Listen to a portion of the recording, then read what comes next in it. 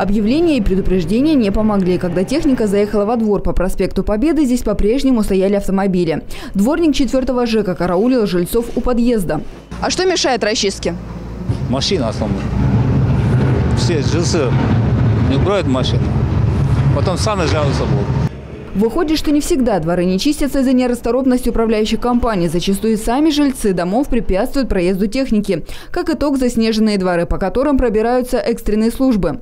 Пришлось даже прибегать к помощи, значит, э, так скажем, добровольцев, которые на своем э, гусеничном болотоходе, э, значит, по- по- посадили нашу бригаду медицинскую в болотоход и повезли, но тоже доехали до тех мест, пока уперлись до машин, которые застряли на дороге. Объехать их было невозможно, и медикам приходилось прямо по крышам автомобилей пробираться к больному.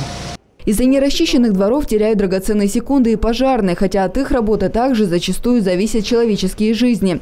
С начала этого года в областном центре произошло 117 возгораний.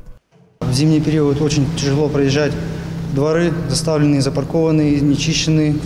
Э, Затрудняет технику, и наша большая, не проезжает. Приходится личному составу э, прибегать к таким мерам, как прокладывать линии на большие расстояния, что теряет э, большое количество времени. Мы теряем не только время, но и иногда и пострадавших.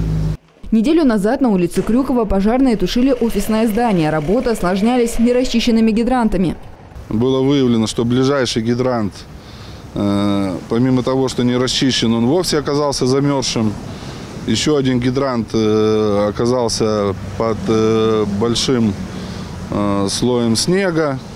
По поручению губернатора Олега Кожемяка городские власти продумывают механизмы воздействия на горожан, автомобили которых мешают расчистке. Скорее всего, их транспорт во время снежных циклонов будут эвакуировать на специально отведенные площадки. При этом для автовладельцев откроют сеть перехватывающих парковок. Мы сейчас ищем а, земельные участки, пустующие как в муниципальной собственности, так и в частной собственности, в том числе и федеральное например, Министерство обороны, чтобы использовать их в качестве перехватывающих стоянок на период ЧС, расчистки и уборки города. То есть это будет кратковременный срок, например, там три дня, когда необходимо нам эвакуировать транспортные средства.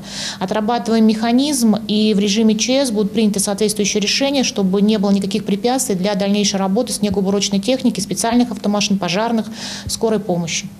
Сейчас в ДГХ формируют списки брошенных автомобилей. Сообщать о них просят всех южносахалинцев по телефону 510 100.